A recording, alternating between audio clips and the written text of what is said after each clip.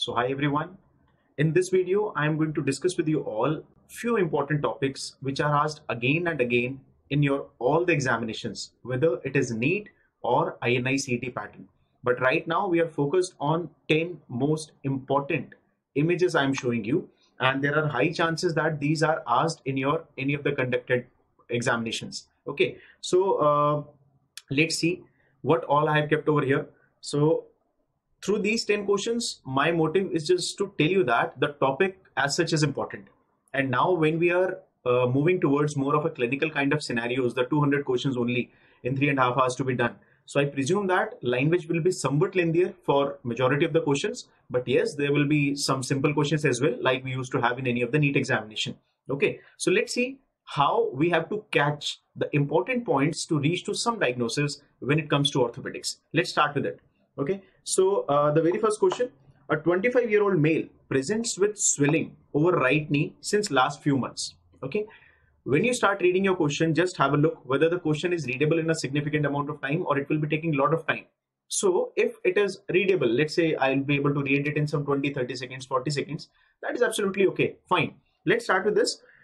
25 year old male, first point, right? There is uh, swelling over the right knee area swelling differentials should come here only to my mind. 25 year old male swelling around knee. What all is possible? It can be a trauma it can be a tumor it can be some sort of infection. Okay? Since last few months initially there was mild to moderate pain but for last one month the swelling has suddenly increased and there is severe pain too.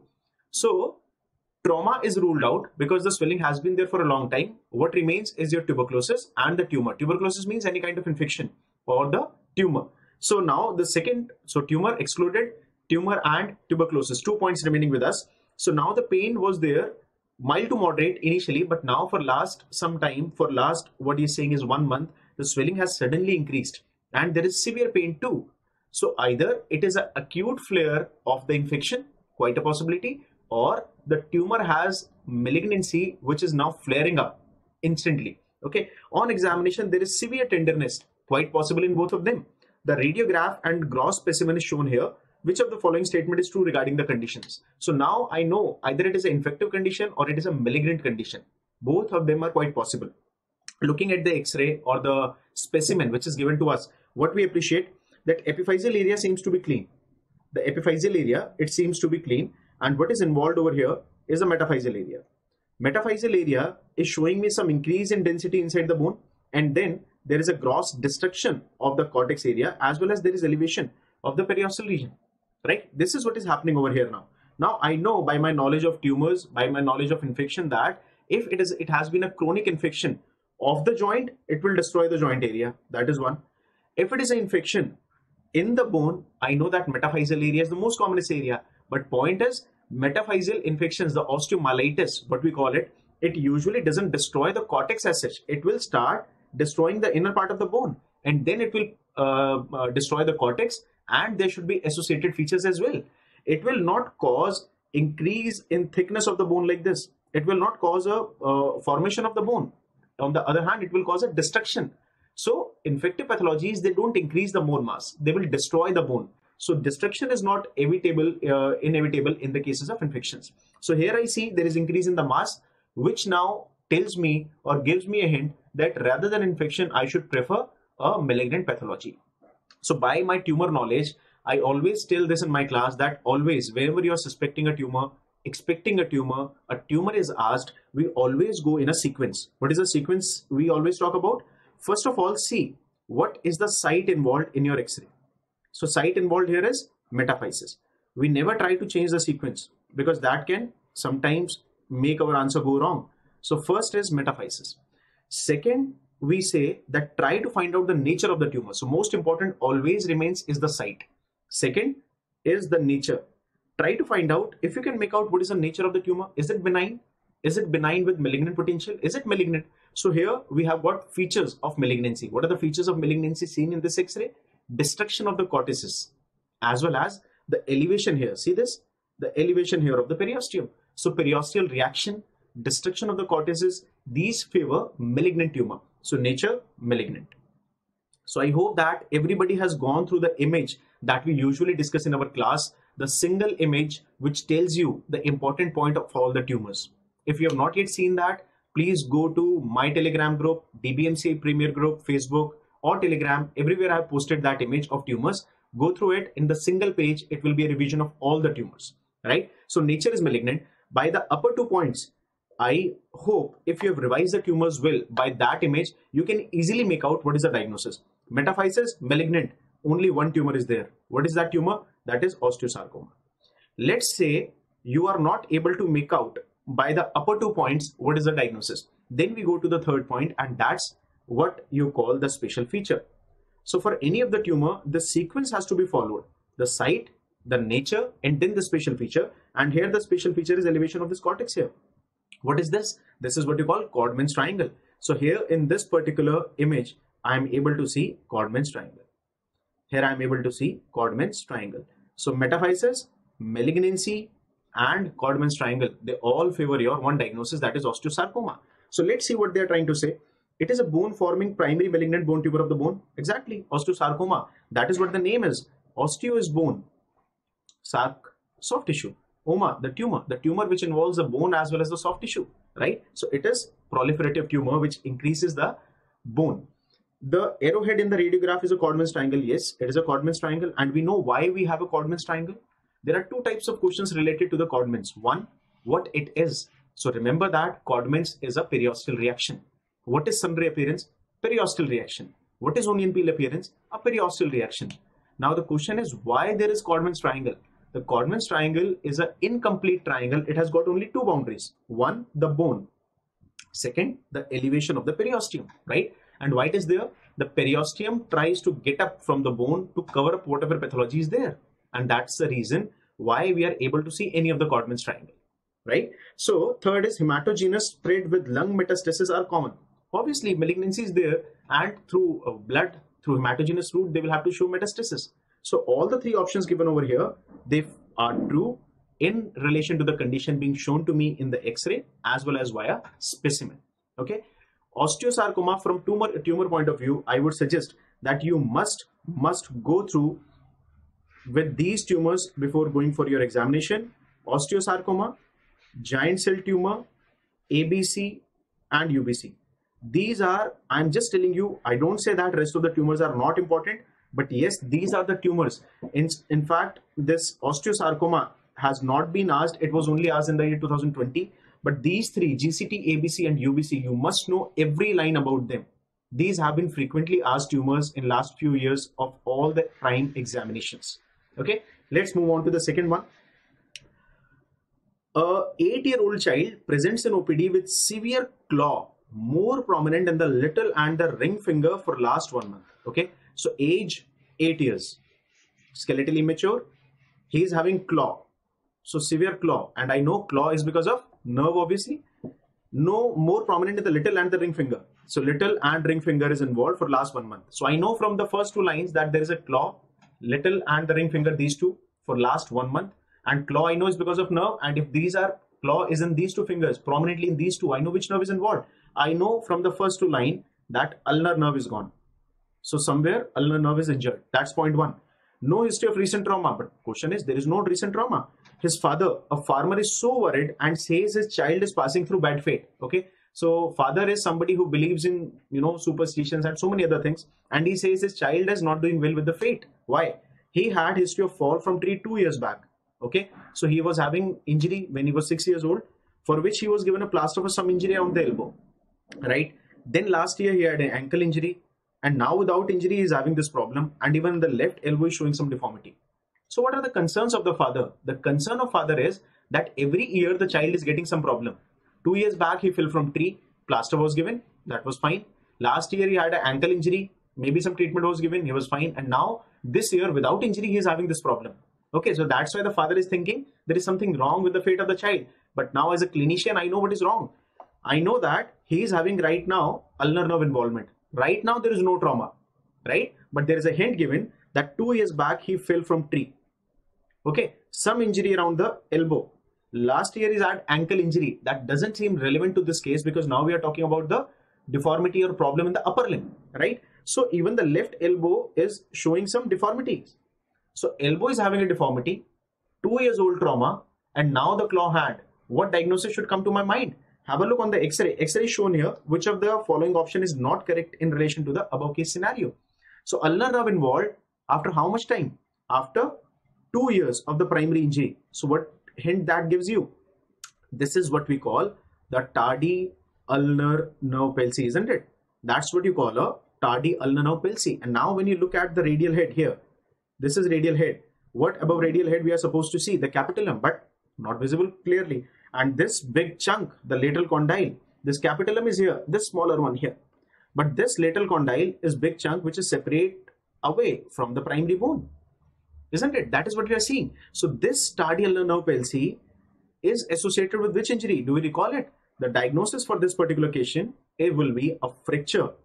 Diagnosis for this particular patient is a fracture of lateral condyle of humerus. Do we recall it? So nerve palsy, had it been a case in which the question says the patient had injury and now after one week of injury he's showing you the claw, that suggests you injury around the medial side. But now when the injury is on the elbow, around the elbow and now involvement of nerve is late, we know it is a nerve palsy which is related to the fracture lateral condyle of humerus. Now let's see which of the statement is not correct. The fracture should have been treated surgically initially only. That's absolutely right because this lateral condyle injury is what we call the fracture of necessity, don't we call it? Because there are three fracture of common fractures which are of fracture of necessity. One is lateral epicondyle, one is what you call Galeazzi in the upper limb, and third is a fracture neck of femur. These three are the fractures of necessities. So these should be fixed when the patient comes to you. So two years back, when he had the trauma, somebody put a plaster, fixed it by plaster only, treated it by plaster only. That was not the right decision. The deformity on elbow is most likely valgus. Do we recall why do we get valgus over here?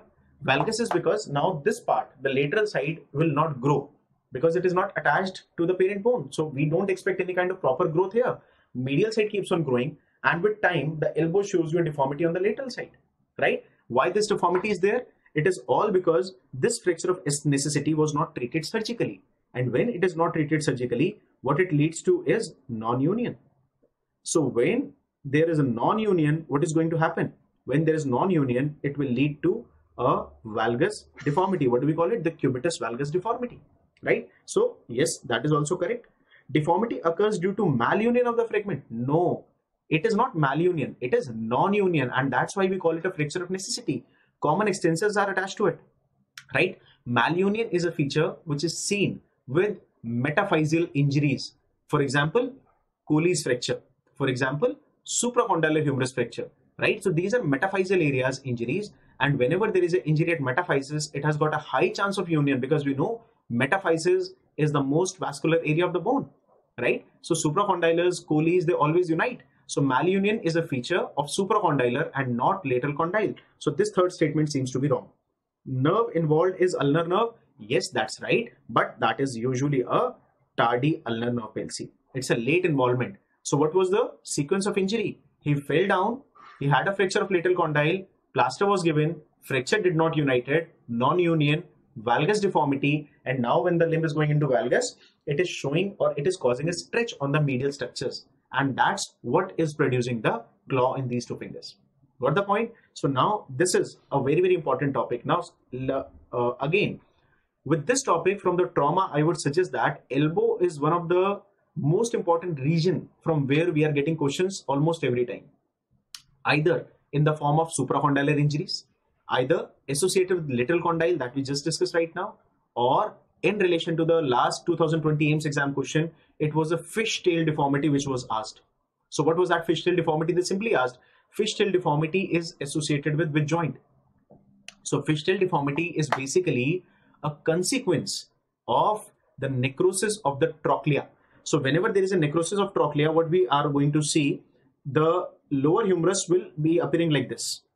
Will be appearing like this. The trochlear area here will be necrosed.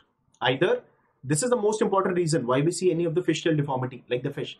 Other reasons can be when it is a sequelae of fractures like lateral condyle, supracondylar humerus, in which some part of the bone may become necrotic, right? Or osteonecrosis, we say call it. Okay, so supracondylar, lateral condyle, three point relationship, physeal deformity. These are important things you must revise from elbow area from trauma part. Okay. Let's move on to the next one. 60 year old lady, okay, presented on stretcher in OPD. So 60 year, unable to walk. First point in my question. She complains of inability to bear weight on her left lower limb. So unable to put weight. That's why she's lying on stretcher.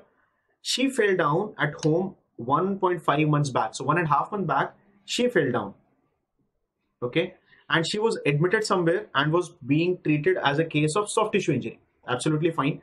So the primary surgeon or the primary doctor diagnosed the patient to be a case of soft tissue injury, admitted her, gave some treatment to her, age is 60, trauma is there 1.5 months back. Now she has come to us in the OPD and uh, the surgeon decided to get some investigation report enclosed below. Which of the following is incorrect in relation to the suspected disease? Obviously, when the patient is coming to you, clinically you will just examine them. So patient is now having inability to bear weight on the left lower limb. Maybe something wrong with the knee, maybe with the hip, maybe with the ankle, maybe with femur or tibia, somewhere like that. That is why he's not uh, she's not putting the weight on her lower limb. So primary surgeon diagnosed uh, the lady to be a case of soft tissue injury only. Some treatment given, but lady is not relieved. Now she has come to us. We advise certain investigation and we get our investigation. What investigation we get done? DEXA scan. Okay, so I ordered for DEXA scan. Let's see what is the report. Summary of DEXA bone densitometry, LS spine, femur and radius. Why we get these three primary areas? Why we get these three primary areas? Do we recall something? Vertebra, radius and the femur. Why? Because we know that these are the primary areas which are involved in condition. Which condition? The condition of osteoporosis. Do we recall that? These are the three areas which we remember are involved in osteoporosis. That's why usually the DEXA is taken over these regions. Can be taken over other regions as well, like calcaneum, like in tibia, but usually the three primary reasons, uh, regions which are primarily involved in osteoporosis. Let's read the report. What it says, the BMD of L1 to L4 vertebra is 1.054. T score is minus 1.1. Seems okay. Doesn't matter. It is not uh, that poor. BMD of the neck of left femur, where she is having pain on the left side. She is unable to put weight on the left side. How much is that? Minus 2.7. So what does that minus 2.7 signifies? Minus 2.7 signifies definitely your what? Osteoporosis, isn't it? That signifies her osteoporosis. What about the right neck of femur? It is minus 2.1. What does that signify? Minus 2.1. That signifies your osteopenia, the T score. Right? And then you see the right radius and the left radius. How much is that? Minus 5.2 and 5.4. It is severe osteoporosis, isn't it? So what we have seen, we got a DEXA scan done and we have diagnosed a lady to be severely osteoporotic who is not able to bear weight on her left lower limb.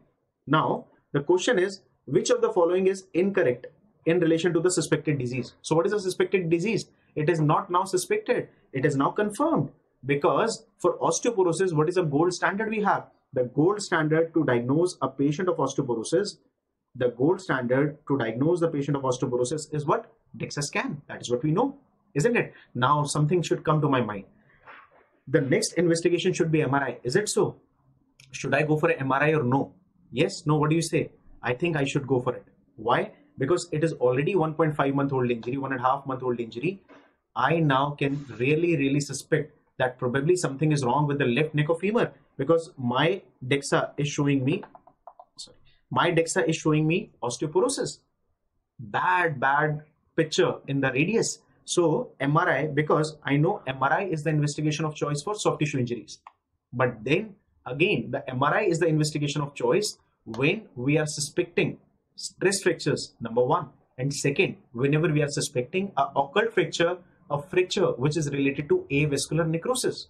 Is it not? Yes. So next investigation should be MRI. So we remember that for suspecting AVN, for the fractures of scaphoid, for the fracture of talus, for the fracture of neck of femur, when we are suspecting some sort of AVN, we know that we have to go for MRI. Yes, so statement seems to be correct. There is high chances of fracture neck femur in this patient. Yes or no? Yes, why not? She had a fall she is having poor DEXA score, T score, so definitely there is a high chance that she might be having a fracture. Giving alendronate only can easily cure this patient. What is that alendronate? That's a bisphosphonate. So giving bisphosphonate alone will cure this patient. Is it right? No. As I always say that treating osteoporosis is like filling a bucket which has hole in it. So you have opened the tap, the tap is giving you water, but because of this hole, this water will spill out. So when you are putting bisphosphonate, what you are doing is only filling this hole. That means you will not allow the further spillage. You will not allow the further resorption of the bone. So bisphosphonates, what they do? They inhibit the resorption of the bone, right? And what we have to do is, on one hand, we should close this hole. That means we should inhibit resorption. We should inhibit resorption. As well as, on the other hand, what about what all bone is resorbed? So on the other hand, what we have to do is we should promote the formation also. We should promote the formation also. Got the point? So osteoporosis should always be treated by a dual management in which on one hand we are forming the bone, on the other hand we are helping to inhibit the resorption of the bone, right? Osteoporosis is one of the most important topics which is being asked repeatedly in all your examinations, right? You must know the important sites, the vertebra, neck of femur, Colles, right? We know how the patient comes to you. We should know that it is because of fractures. Okay, so vertebral collapse, the wedge fracture or the compression fractures, impacted fractures. So these all three sites they show you impacted fractures. The neck of femur is impacted, Colles is impacted, vertebra is impacted. These are important features of the osteoporosis. Then when you talk of radiological evaluations, we know that in osteoporosis, we are having codfish spine appearance. Then we have the hump on the back of the old ladies, old people. That's what you call Dowager's hump because of multiple compressions of the vertebra, right? And then obviously, when you talk about the investigation part, the gold standard is always a DEXA. What will happen to the serum mineralization? We should remember that it remains normal in osteoporosis. Moving on to the treatment part, as I said, the treatment should always include the dual plan, the drugs which inhibit resorption, the drugs which inhibit resorption, and second is the drugs which promote the formation, the drugs which promote the formation. So we must focus on both the parameters at the same time. So drugs which inhibit resorption, they are number one, they are number one, the bisphosphonates. We know different bisphosphonates so bisphosphonates. Number two is calcitonin and we should know that how this calcitonin is available. It is available in the form of nasal spray. Third is estrogen and fourth is selective estrogen receptor modulators. These are four. Now when if they ask you ever, which they asked last time also, that if a old age lady is there with you, which of the following will be the drug of choice, whether estrogen or whether bisphosphonates. So we always go with the bisphosphonate. These are the drug of choice for us. Estrogens were preferred when bisphosphonates were not there in trend. But now we see estrogen is not that much required when you use bisphosphonates, which give you much better result in any of the patient, with a male or a female, right? Bone, uh, the drugs which promote the formation, obviously they are your teriparatide, which we know is a synthetic analog of parathyroid hormone. Second, is the calcium that we are fond of giving every patient in orthopedic OPD. Patient coming to you with knee pain, calcium. Backache, calcium. Headache, calcium. So don't be in a habit of giving calcium to everybody. It doesn't solve any purpose. Okay. So it has to be dual management. And obviously for their absorption, what we need is calcitriol. What we need is calcitriol, right? The vitamin D. So these are the drugs which promote the formation. Then we have got the drug which has got a dual action. Which drug is that? That is strontium ranelate. That is strontium ranelate. This strontium ranelate has got dual action. It will inhibit as well as it will promote the formation. Right? Then we have got certain other drugs that you must know. One is denosumab. One is denosumab. What is that? Denosumab is a drug which blocks the rank ligands. So indirectly, what it is doing, it is not allowing the osteoclast to get activated and therefore it is working in this fashion only by inhibiting the resorption, right? Then you have got newer drugs for osteoporosis. One is abalo, abaloparatide and other is romosozumab. Abaloparatide and romosozumab. These are two newer drugs. So this is working like teriparatide and romosozumab is again, it is working like a strontium dual action. So these are new drugs, abaloparatide and the romosozumab, which can be used are FDA approved now back in the year, I guess, if I'm not wrong, in 2018 or 19, these were FDA approved. Okay, so these are different drugs that we must remember for osteoporosis. It's a very, very important topic. Please go through the notes and do revise it very properly. You must not go in exams without reading two or three very, very important topics. One, osteoporosis. Second, I said the injuries around elbow, supracondylar, lateral condyle, three-point relationship, fishtail, I've already mentioned that. Third is in trauma, it is scoliosis. It has been asked a number of times in last two years. Okay, very, very important. Tumor, I have already mentioned from the tumor part, the GCT, UBC, ABC have been frequently asked. So you must, must revise these topics at least very, very thoroughly before going for exam. Okay, let's start with the next one. A 55 year old female, right? The age is 55, female, presented with polyarthralgia. So something related to the joint. Okay, for last 10 to 15 years, she has been taking irregular medication with some mild to moderate relief. So not yet diagnosed, mild to moderate relief, often on uh, medication, that's fine. She has been ignoring it for long, but now for last four to five months, she has started getting swelling. Okay, for last four to five months, the disease has flared up, and now she's having swelling around her wrist, finger, ankle region, and some deformities in the hand also. Okay, which of the following is not correct about the condition she might be suffering from? Her clinical photograph is attached. Fine. So she is 55 year old lady, some joint problem with some swelling. For many years she has been avoiding it. But now when she is 55, I expect that uh, usually the patient of the rheumatoid arthritis. Let's talk of all the arthropathies. Osteoarthritis, obviously more common in females, household workers, all the time working, but usual presentation is knee pain. Rheumatoid, again, most common presentation in male females and with bilateral symmetrical involvement of the joints. That is what they are telling you that she is having polyarthralgia. But symmetrical asymmetrical is not mentioned. But now I don't expect RA at the age of 55. But now in history only, it is mentioned that she is having the similar complaint for last 10 to 15 years. So when she was around 35, she started having this complaint. So I can expect RA at that age. Now they're saying there is swelling around the wrist area. Now with this wrist knowledge, I know that in osteoarthritis, the wrist area is paired.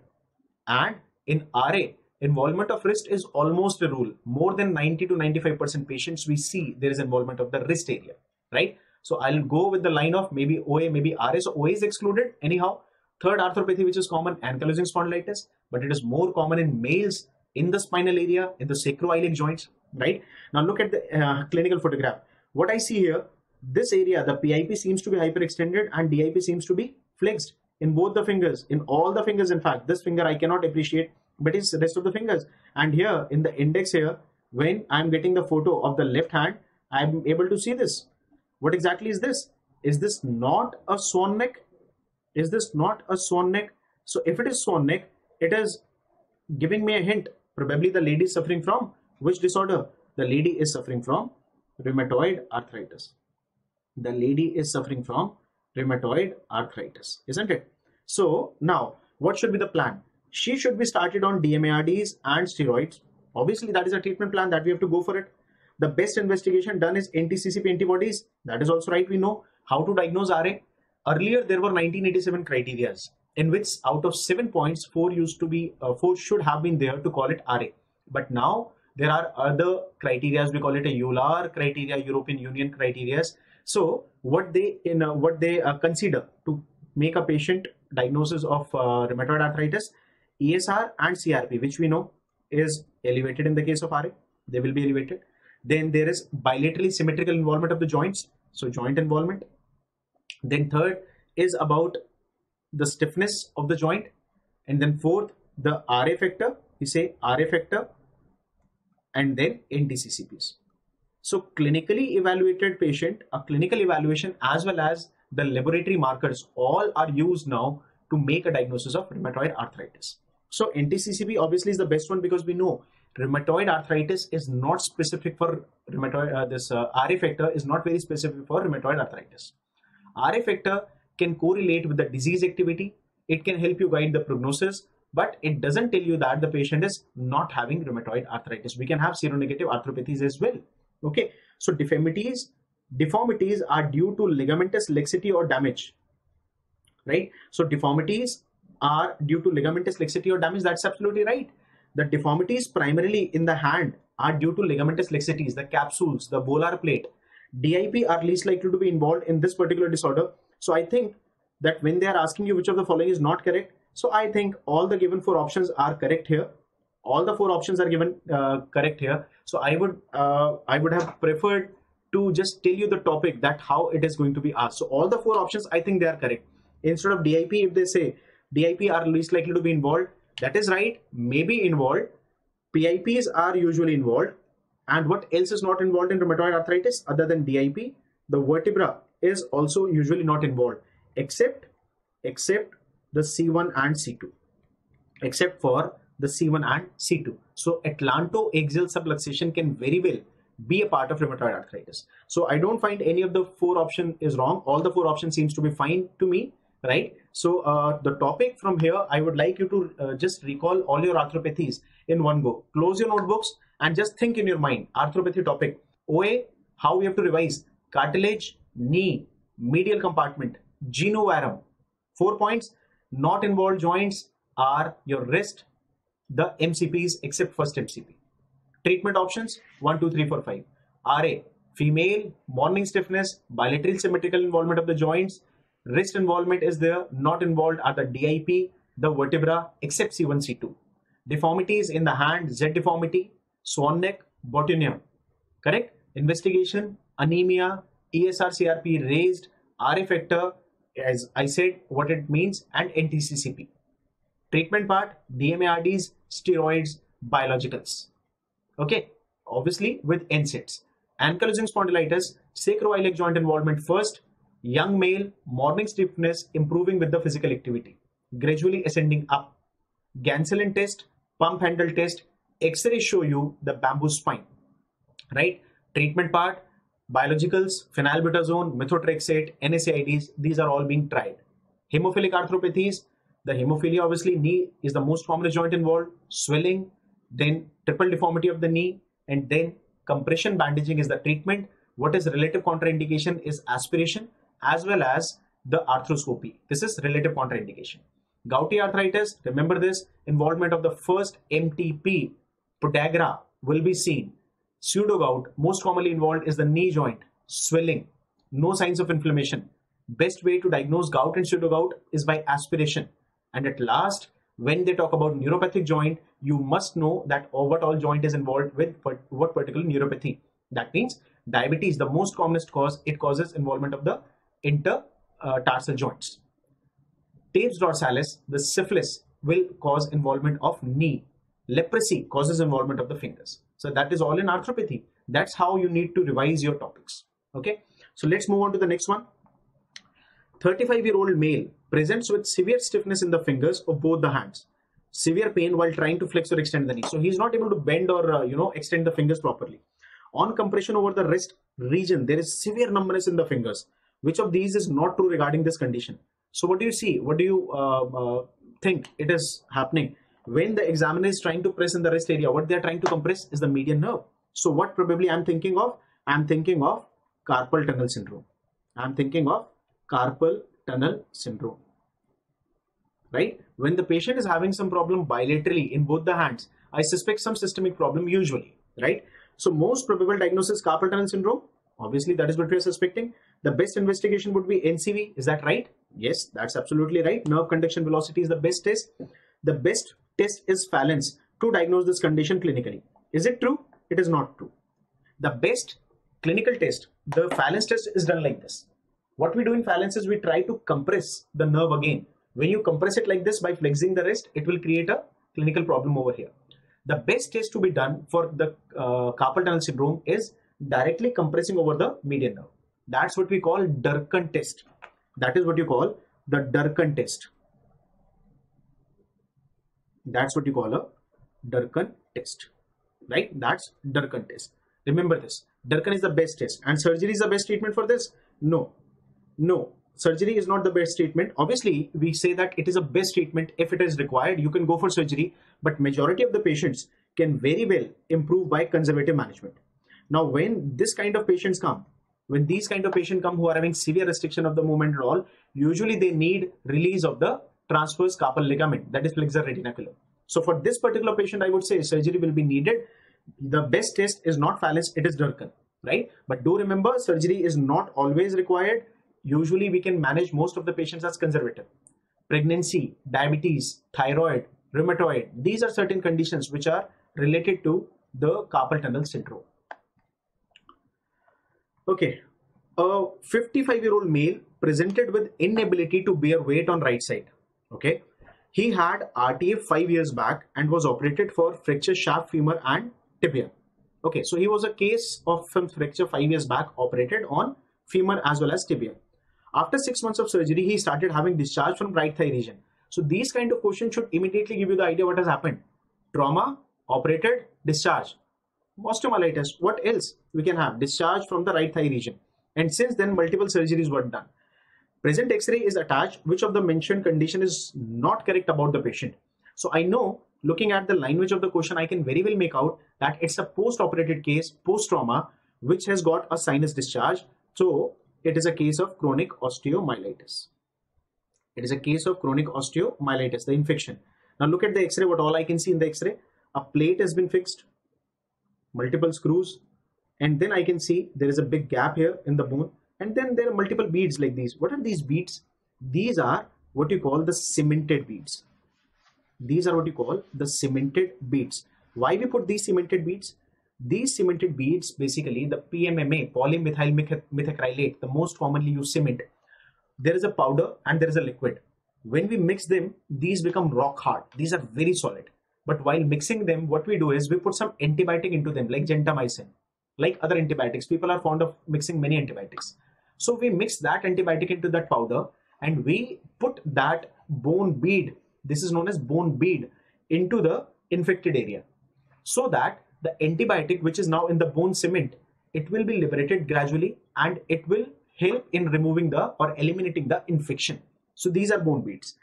The white beads seen on X-ray are bone cement. That is what I told you. These are bone cement plus antibiotics, right? Putting bone cement only, the beads will not help, right? Bone cement is used whenever you are doing a curettage in a big area, like when you do in the cases of compression fractures of the vertebra, we do the vertebroplasty. For example, when you are doing removing some tumor, when you are removing some pathology, when you're doing some curettage, you can put bone cement over there to fill the big void. Okay, so this is correct. Patient needs removal of all this bone and implant as well.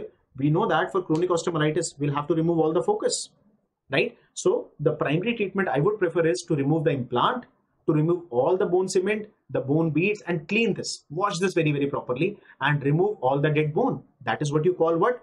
Sequestrectomy, isn't it? So yes, removal will be needed along with sequestrectomy. That is also right. Starting antibiotic as culture is ideal.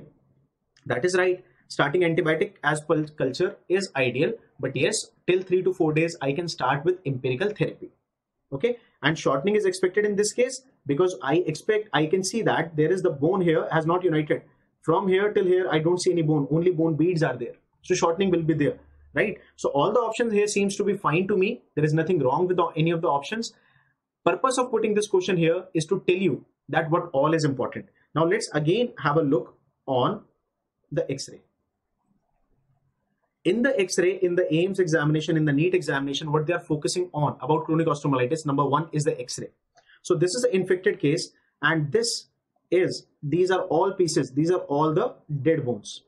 This dead bone is what we call sequestrum. And we know that sequestrum is a source the infection is all around it.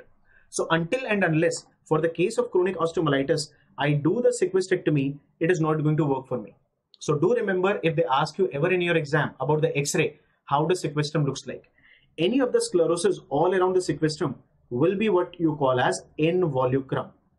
Is what you call as involucrum, right? And if the bone is giving you a gap from where the discharge can go out, is what we call a cloaca.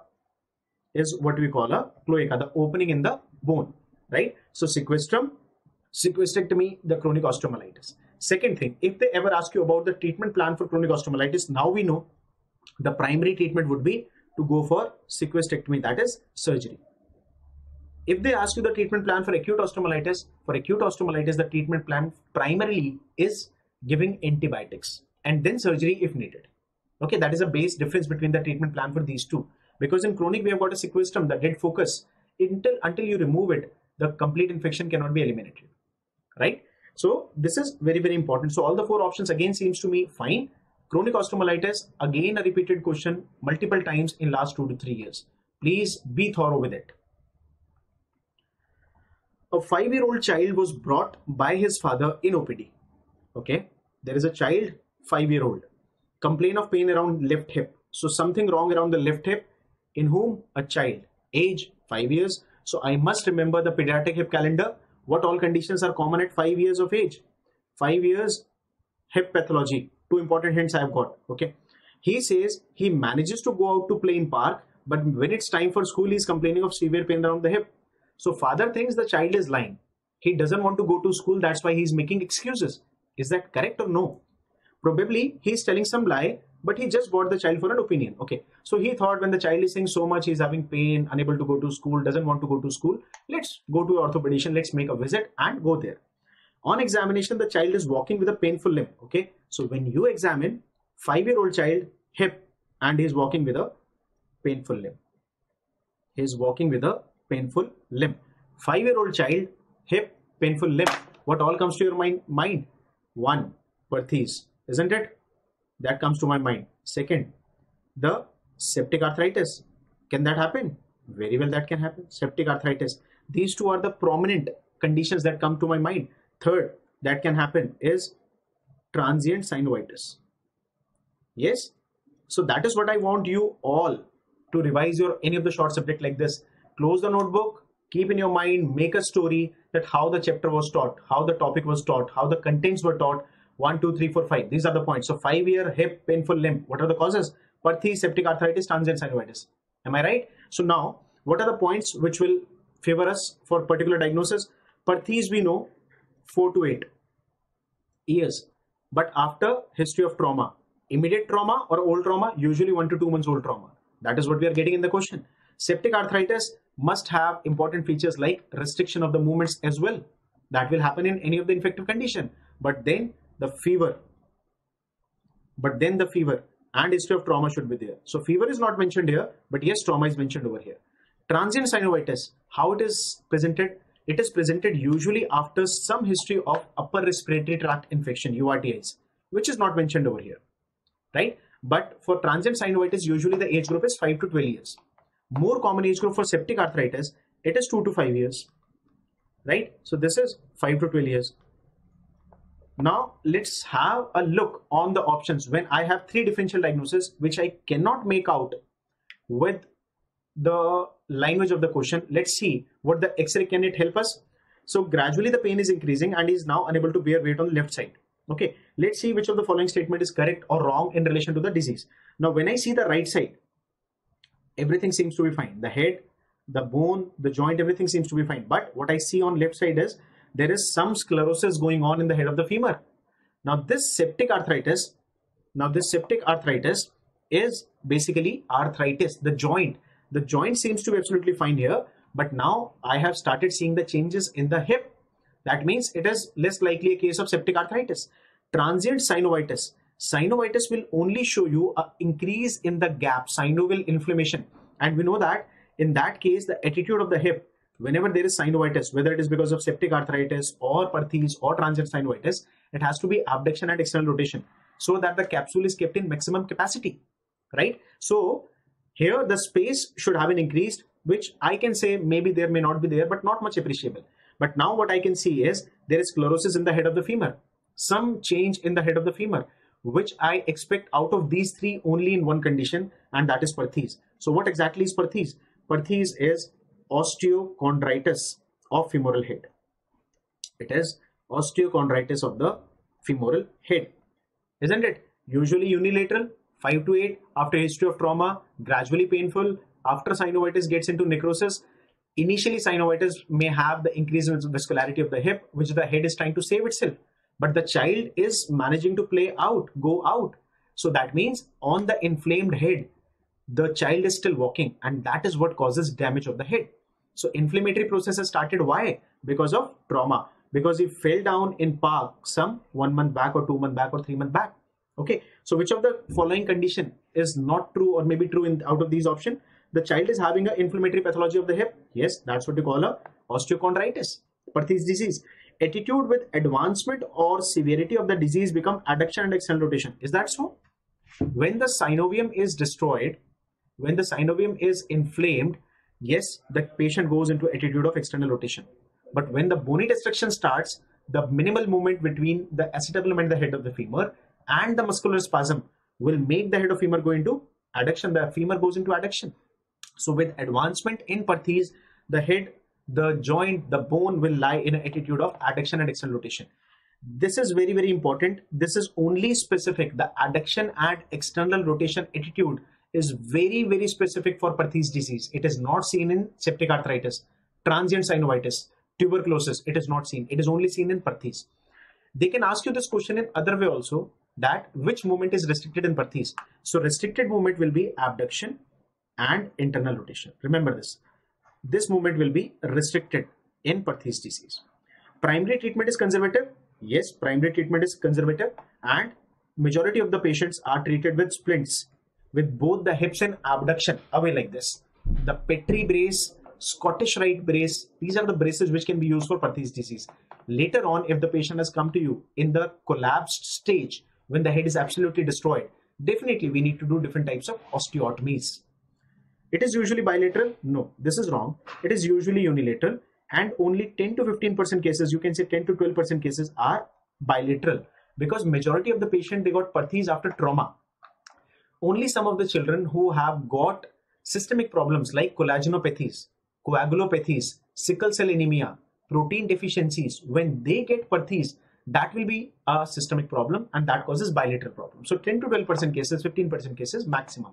Majority of Perthes will be unilateral, right? Okay, so next one. A one-year-old baby girl was brought with history of fall from bed on examination there is swelling around the mid-thigh region which of the given option is not correct about the associated condition. So one year old child coming to you with a fracture shaft of the femur and my all purpose the whole purpose of showing you this question this topic is to discuss with you that whenever a child is coming to you with fracture shaft of femur we should know that we are going to treat it as per the protocol that whenever any child is there in less than 2 years of age we have got two options to treat the child. One is gallows one is gallows and then better than gallows is always a hip spica. Out of which the gallows can only be used till 2 only. It is only used in a child who is less than 2 years or who is less than 15 to 18 kgs. Broadly we learn it as 20 kgs. After 2 years we never use gallows but hip spica can be used till the age of 5 years and it gives fantastic result. So for this particular patient i personally would prefer a hip spica or gallows whatever is given to you in the option so it should be operated immediately? Absolutely no. 100% no. A big no for this. No, never. We don't need to operate. It should be conserved. Yes, that's absolutely right. At this age, flexible nail is best as it will allow for alignment of both the flexion. See, at this particular age, I don't need to align these fragments. Leave it as such. Even if I leave it as such, it is not going to cause any problem to the child children bone they have got a magnificent a very good potential for remodeling. And even if i leave practically telling you if i leave this bone as such even then it will remodel fantastically right? It will remodel in a fantastic way. At this age hip spica is the best option. Yes i agree to that. It is the best option. So third one is wrong. It is option a is also wrong. Option b is correct and option d is correct right? 9 a 25 year old male while traveling in a bus was holding the upper bar. So in the bus you have got an upper bar no? So to hold it so that you don't fall while standing. The driver suddenly applied brake and patient got a jerk. So when the patient is holding the upper bar like this right that means the hand is already abducted. Okay? It has gone upper part hyper abducted basically. So when he got the jerk then he presented to us with this attitude that you can see in the picture on the right side. So abducted and kind of externally rotated he's not able to like this is internal rotation but this seems to be in a straight posture so it immediately needs surgical intervention what is the diagnosis for this particular patient looking at the shoulder, I can see a bony prominence over here. What I feel, it is a shoulder dislocation.